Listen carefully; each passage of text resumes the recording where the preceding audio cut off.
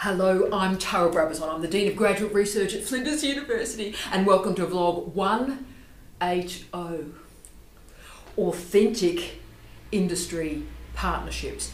Now, in international higher education, there are a lot of cliches that permeate our lived existence at the moment, and one of them is about industry partnerships. It's about impact and engagement, it's about transferable skills, transferable knowledge. Now, my fear is a hell of a lot of cliches are packed into those phrases and ideas. And I think we're, we're losing some of the more meaningful connections and collaborations that we could be engaging with. And for me, what we're not talking about is authentic relationships and how we create meaning between our university and industry partners. And the other worry I have is that we endlessly talk about industry, and I think it's narrowing what we think of as industry. Actually, the diversity of industries in our culture are profound from theatre to maritime engineering, from publishing to teacher education, from social work to social policy. So, what I want to do today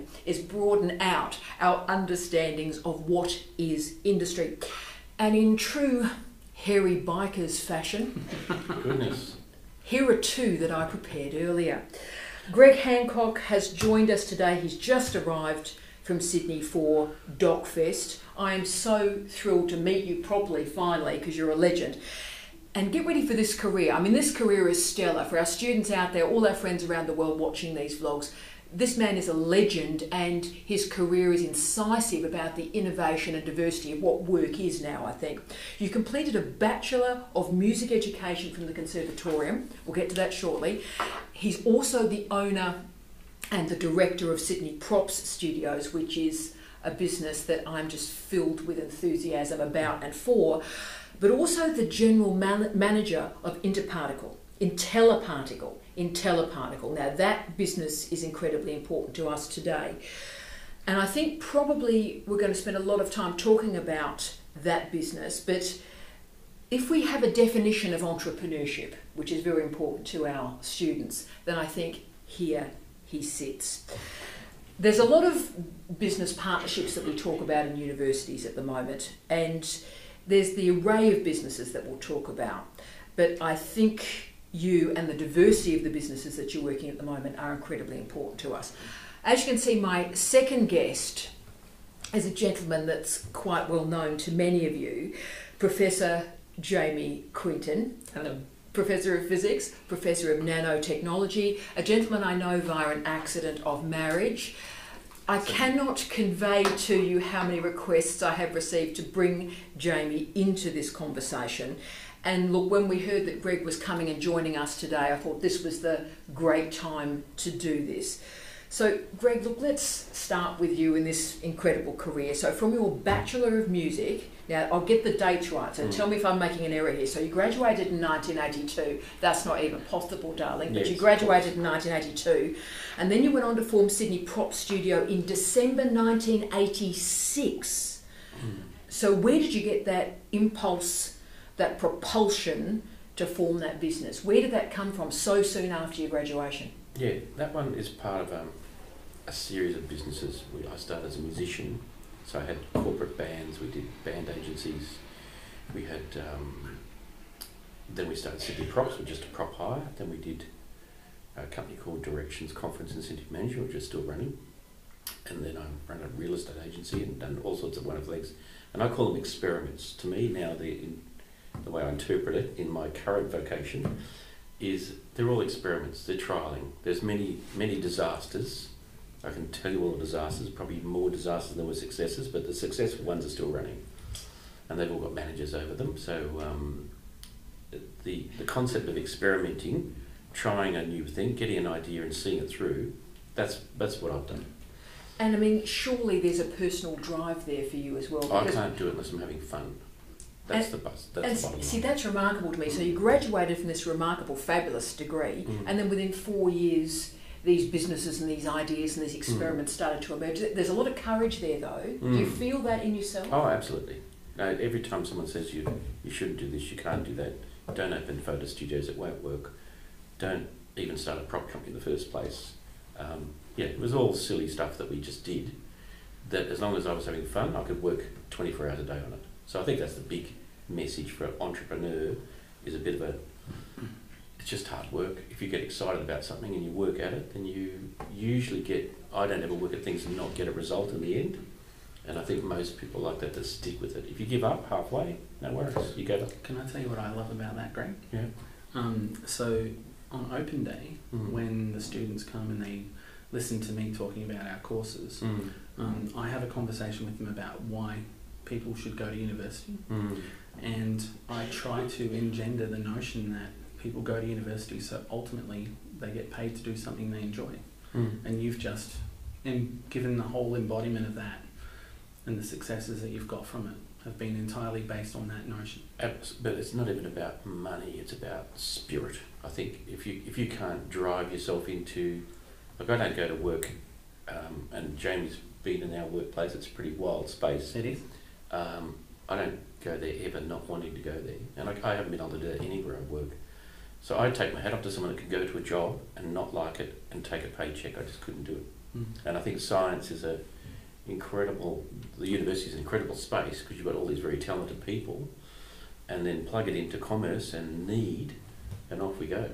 Oh, well, see, Yeah. this, this is it. So this Yeah. is this is that authenticity I want to talk Mm. about today. This is the relationships because I think the notion of this is university, this is industry, it's getting a bit awkward. It feels Mm. a bit forced, and it doesn't have to be. And therefore, let's talk about IntelliParticle. I'm Mm. obsessed by this. So this suddenly arrived in 2017. Now, I'm, I'm laughing because I'll give the example a second what Jamie's been doing research for you in our own home. But, but carbon graphite resistive heating. Now, I'm fascinated and a bit obsessed by it. And I'm obsessed about how it's operating in inks Mm. and in resin Mm. and in fabric and in concrete. Mm. So, wow, where has this come from? And I'll just say I'm only laughing because whenever I put our griller on or our oven on, I see Jamie with his camera With taking his pictures. yeah. And I'm going, what, are you doing, Dal? Why are you taking pictures of my griller? Oh, I'm doing it for Greg. so, so, so, so how, how did we get there? Where did this come from?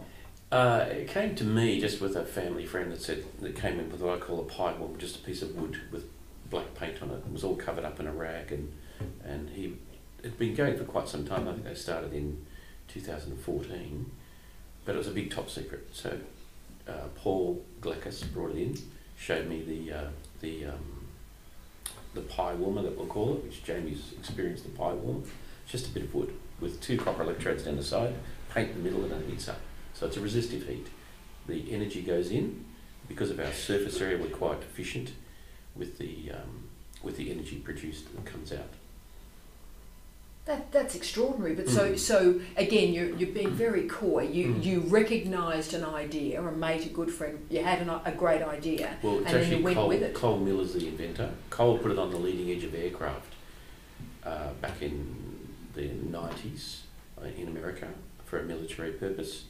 Um, and then Cole's, Cole and I work together every day. So I'm really just the entrepreneur, the face of the, the business, and Cole's the, the scientist and the inventor of the product. So, but we've got it into glass. We're into, Yeah. you know, really it's just a, a carbon graphite that can go in many different vehicles.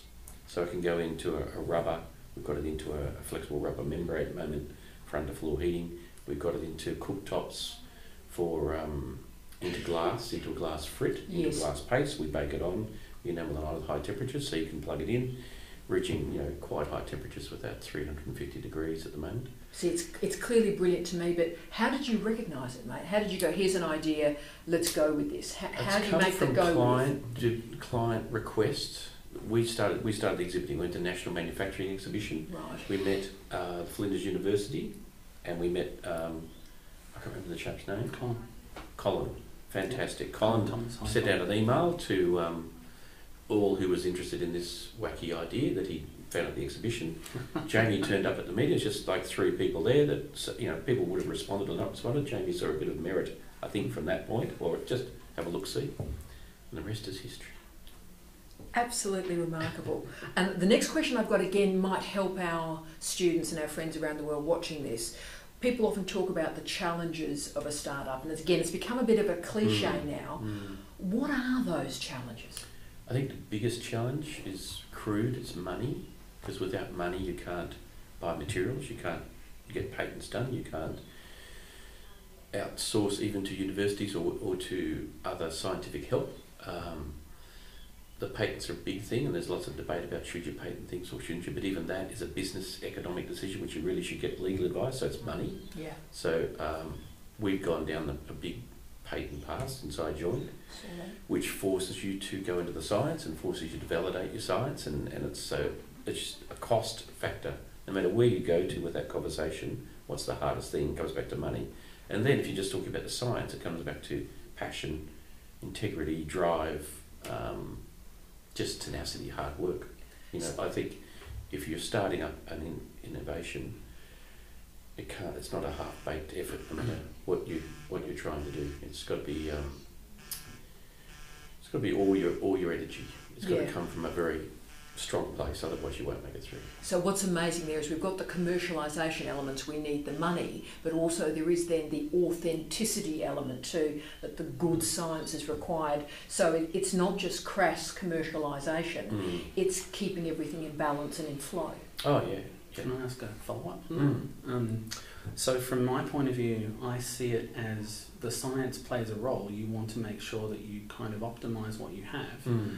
but would can you comment on the versatility and on being able to recognise all Yeah. the different ways in which you can apply it? That's remarkable. Because I think that's certainly something I've got from my interaction with you and, Mm. and Cole is your ability to connect it with other opportunities is, is a critical thing. Absolutely. I think what Cole brings to the story immediately is fast science.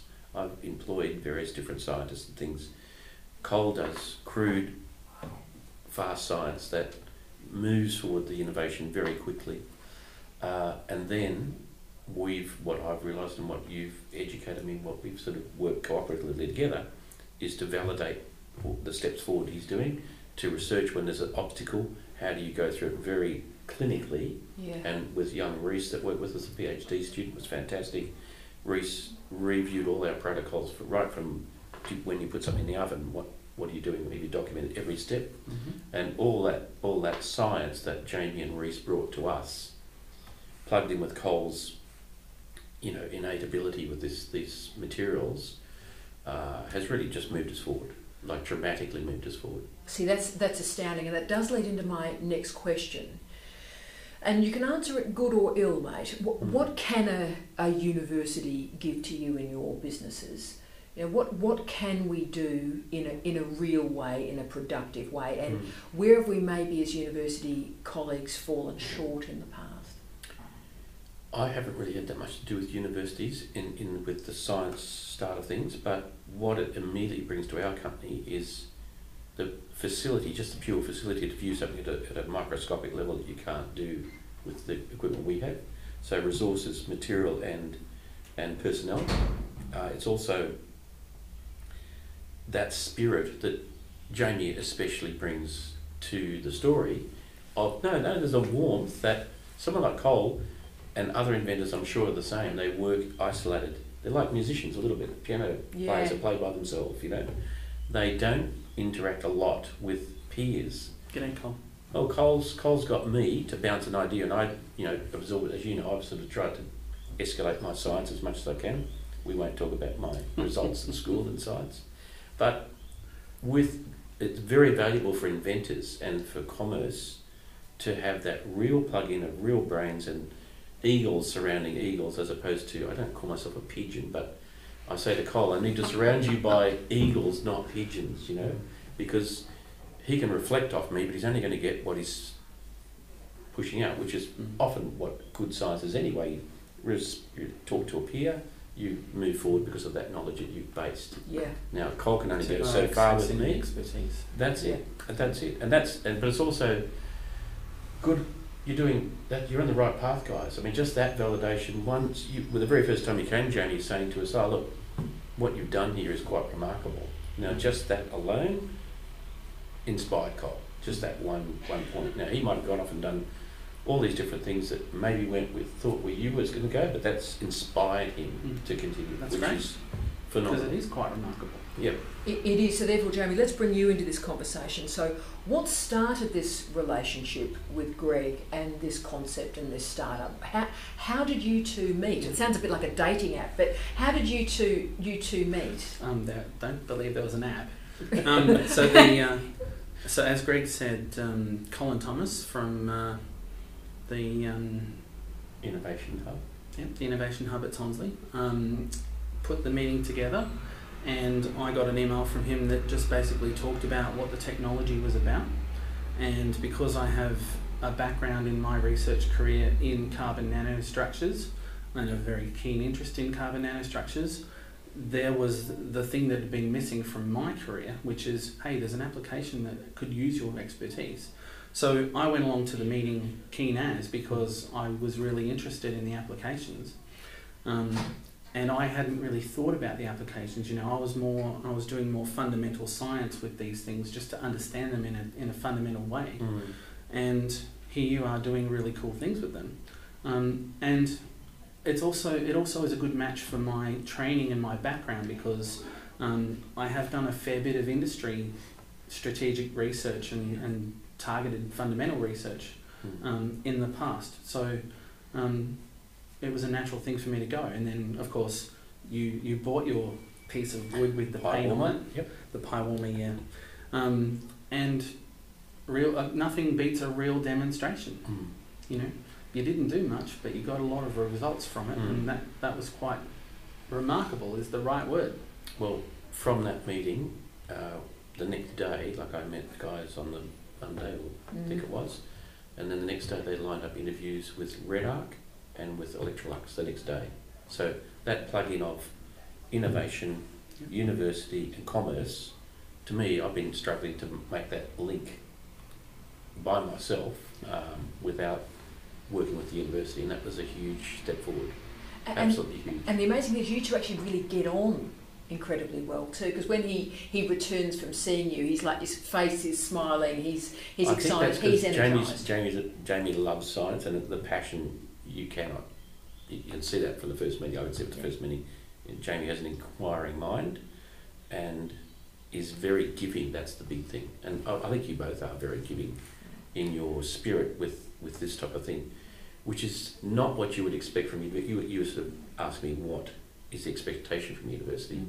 University, you think is sort of hard science, is papers and analytical, and, and I think you guys bring some warmth to a university environment. So I think it's a great thing. And, and where I come to this, I suppose, is, and this is where, you know, I'm hoping Australia buys into this, is we're here to serve. Mm. We're paid by the Australian taxpayers to use our research. We've had the great gift of higher education Mm. to serve people and Mm. provide pathways and alternatives and opportunities. I mean, that's Mm. what I see our, our job as being. No, Absolutely. fantastic.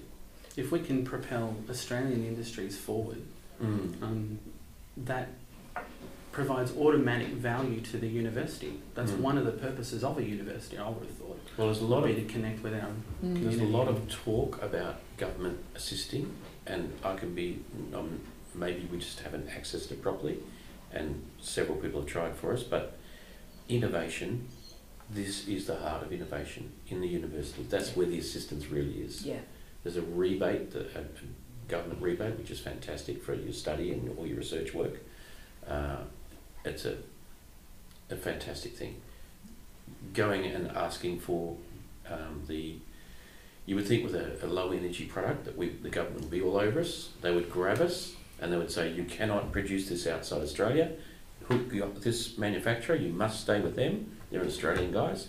We'll manufacture it here and then we go to market and after three or four years, after you've paid back all your fees through the way, um, that's what I would love to see happening. But that's not what's happening. That's not what's happening. But the university has been remarkable. The, the spirit, that's what I'm, uh, yeah. you know, a startup like us calling out for help and we walk into a room like that and we're given two, two lo- backup of science, backup of validation of our product, pat on the back and, and encouragement, as well as introduction to two key clients. Now, one of the companies, REDARC, is a South Australian um, Mhm. company, and they used us to making heat signature targets. That's been the first income for the company. I mean, they're lovely people to work with, and referred by you. So you couldn't get a more, and you, you probably didn't even know that, Tara, but that, It's amazing. that, that is a really genuine situation where you go, okay, you've got an innovation, a startup, you've got a university, you've got a, a directive to, hey, talk to these guys, and you've got a financial outcome, which then feeds back into we can afford to come back and do some study with the university, and off we go. You know, that, that very simple little model, amazing. Well, we're about to For every taxpayer. absolutely, absolutely, and for, and for the taxpayers out there. Mm. Greg, we're about to take you to an industry luncheon Mm. with a series of people who can go through funding options to, to give you a series of rebates Mm, to mm. build on the relationship with the university as well. So in one hour, you're probably about to see five or six different strategies Mm. to bring money in and opportunities in for you. Now, it's not the, the dream of the suite or the portfolio of Mm, funding, mm. but there are ways I think that we can maybe move the business forward. Um, I was going to ask, Sweetie, is there a, are you asking a question about the authentic relationship from the university side? Well, I'm, I'm going to, going to come to that, but can I firstly ask the example from the peer review? Because we've got an undergraduate student, an honours student currently involved in this story. Can you, can you tell us about what's happening there? So just starting with a student. Sure. So a student, um, Reese Walchowitz. Hi, Reese, Hi, if you're Reese. watching. Um, I'm, I'm sure he'll be watching at some point. Um, Reese is an undergrad student. He's a student in our Science High Achievers program in third year, and as part of their program, they do research projects. And it was a perfect opportunity, and Mm. uh, the initial conversation I had with him about what sorts of things he'd be interested in. Um, I mentioned the opportunities. There was an in- industrial project that he could get his, his hands on, Mm. and um, he was quite keen. Um, and so we kind of started from there, and it was kind of a little bit left field for him. So you know he didn't have a background in nanotechnology, for instance, um, and so it was a sideways step for his um, skill set, Mm. which was great because I mean that's what we want for our students. We want to actually broaden their experience and their skill set in what they do. So, um, so he got involved. He did a la- last semester project Mm. um, with IntelliParticle. Yep, and he came to visit, he put hands on. I think the big thing that innovations like us, especially a sort of grungy startup like we are, Reese sees that energy. He sees the there's a financial energy that we have to get this done because we have we have to make this, and there's a commitment, a passionate thing, which is very hard to artificially create in a Oh, university. So Well said. yeah, Absolutely. yeah, I think it's um, that interaction between the two of the two entities. Both are gaining a lot. You know, I know we gained a lot, but I'm, I'm sure Reese would see the energy that Cole works at and the, the, the mad science I and think the different um, way of approaching something, Oh, a very yeah. literal, quick fix way, and then you work out does that work, and then you back analyze it. I, I think it's great for a student to see um, a real industry with a real Mm. world problem that needs to be addressed. You know, Mm. you can't with with undergraduate teaching and learning. You learn about what other people have done. Mm. Um, he's had to actually think about trying to solve problems that haven't been solved before, and it's an experience that most students don't get. Even the students who are here Mm. don't necessarily get an industrial project to work on. They'll go and join a research group and they'll work on something that's more blue sky than anything else. Whereas in your situation, in, in Reese's project, he was given challenges that really needed to be answered and, and, and responded to promptly. And so And then we implement them. that real world Which- experience yeah. is, is one of those graduate qualities that we want to engender in our students. We but do. it's it's an opportunity that most people And, don't and get. sort of Mm. my, my dream is sort of the, the Dean of Graduate Research is to find a way to find a strategy so that Reese can continue this through honours and then into a doctoral program. So that's the funding matrix that I'm trying to find a way to put together now. Mm. So really this can be a proper industry university partnership and Reese can gain and so can all of us. Can I just give a quick plug for Mm. STEM 3700 and say that hi Ingo. Ingo is uh, our topic coordinator of that topic, and we are trying our best to embed that in our science programs so that while students can't necessarily each have an industry problem, there's a process now where in this topic we get industries to come and engage and provide a problem Mm. and then the students within that topic are, are amassed in a team and with a multidisciplinary team they tackle the problems Mm. so it's a it's a it's a de facto way of doing that Mm. right um, I would argue that Reese had the real situation because he was interacting with you Mm. um, when you would ask both of us for an answer I'd be thinking about the answer but I'd actually encourage Reese to to have a go first Absolutely. Yep. and, um, And the document he produced was yeah his excellent. report was good Yep. And so, therefore, we'll now just, Jamie, you can fold this back for us if you can. What can industry partnerships give to our universities, and how do you, as an academic, render them meaningful? And I should probably say, before we got together, I read Jamie's PhD. I was uh, no judgment, but but I read his PhD, and it is an outstanding PhD, beautifully written. He's a magnificent writer. But the thing I would say to you is the PhD was about industry engagement, so you could see your interest and your passion in outreach within the PhD itself. So, surface science was a way for you to make connections. So, Mhm. where are you now on that story? Because that was your PhD. What can universities do and what can we gain? Well, I think the most important point, and the first one that came to my mind as you mentioned the question, is that I, from my interaction with multiple industries now, all of them have this perception that when the university engages, they've got one hand in their pocket trying to pull money. Yeah. Now, I mean that is that is our KPIs, Mm. right? So you know, I'll be completely upfront about that and say, look, our KPIs are driven by research income. Research income comes in lots of different forms. Industry money is a very lucrative and a very useful way for us to meet our KPIs Mm. because as I said, you know, impact and engagement is all about how can we help Australian industries in particular, and there's more than one way to go about this. So, from a personal point of view, thank you for pointing out the spirit because that's why I do it. I do it because I enjoy it, Mhm. not because oh I can meet that KPI. And that's very I want apparent. I Yep. want to meet the KPI. Mm. I do, and we all do. Yep. But I want that to be a byproduct, a, a consequence An outcome. of what we do, Yep. not that's my motivation for getting involved. Mm. And, and that's really important to mention. Mm. And then the second thing is, you know, for someone like Greg who's starting up, I actually want you to be successful. I want to see your product everywhere. I It's want it in every house, right? Mm. Um, and I want to do my part to help that happen. Now, in terms of you know opportunities, I tell you what they are. That I'm not going to try and push you into something you don't want to do Mm. because you have to. That's your role in this. Your role is to decide what you need to do, when you need to do it, and my role is to support you as I can, Mm. hoping that when the time comes that you do have a continual turnover and you know income, stream, Mm. you've got an opportunity to target some R and D, and then when that comes along, I've been involved as a in a in a re- research partnership and a re- in an actual relationship, rather than someone who's flying by night come in, see an opportunity, go, oh, can I have a piece of that? Thanks. Mm. You know, Mm. that's Yeah. really important.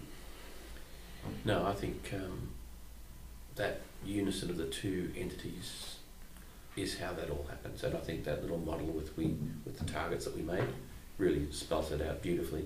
There is an income stream at the end. It is a commercial exercise. However, the science is the focus, and the fi- the science.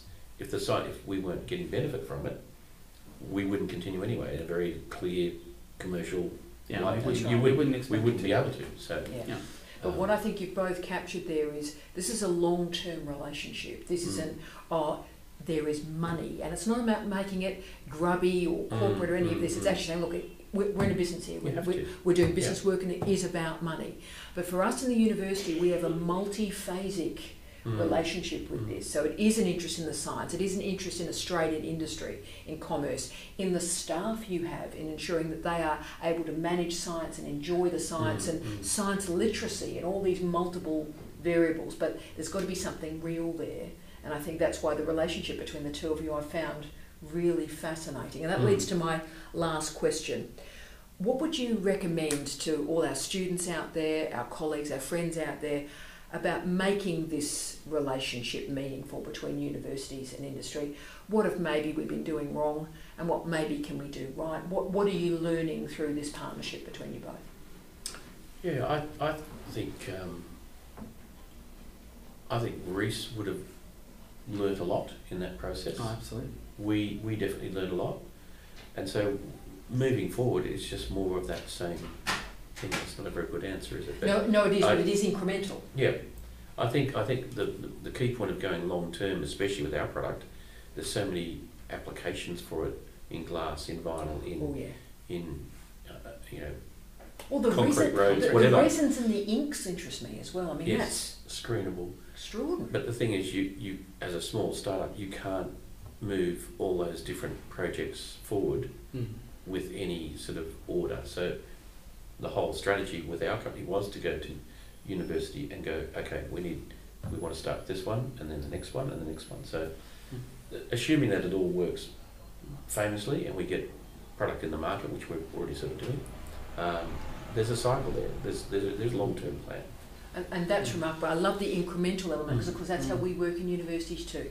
Here's a project, here's a student, on, on, on, on, on. You've got to Jamie? constantly evaluate your viability, right, of each of these aspects, each of these As a applications. startup, you don't do that, you're gone. So let me tell you why I love working with IntelliParticle. It comes down to me being a physicist Mm. um, and me wanting to make a difference outside of my lab. Mm. So I can spend hours and hours and hours thinking about what's happening on the surface of a piece of graphite. Mm. And we do that. We do experiments. We try and you know we. It's almost like creating new Lego blocks, if you think about it. Right. That's one way to think about it. I want to understand what's going on. Mm. That is my passion. That is where my brain loves to spend its time. Mm. But you've automatically doubled the number of possibilities and doubled the meaning behind it because now it's not just we can understand this and this might be useful for this or that. You've actually got applications it's useful for, and then it actually targets my thinking in a completely different way. Mm. Okay, here is an application. That's one application. It has certain requirements and it applies that fundamental knowledge. But you have to configure it in its own unique way for that particular application. Yep. And then you've got 12 applications, Mm. 12 different configurations, 12 different things, 12 different sets of challenges. Mm. And you might actually solve a challenge in one of them and it might automatically solve a challenge in one of the other ones. Absolutely. Yeah. So my maths brain loves that. um, and yeah, I'm thirsty. More, Mm. more, more. Mm. You know, so um, that's why And- I and love that- it. that's That's, it, why I want yeah. to get involved. it's driven from the science. I mean, if there was no, if there was no step forward in the science, we wouldn't have anyone's imagination. There wouldn't be, there wouldn't be a communist story at the end of it. But we, we definitely have, and to have that validated by the university, which you don't get unless you go back to a someone with Jamie's background and get that validation. So, startups, industry, innovation all need to go to a university and get that external evaluation. Really. This makes me very, very happy. Mm. Uh, not only are these two brilliant, innovative, interesting men, I think, a credit to the country, but I think the partnership, you know, the sum is greater than the parts here.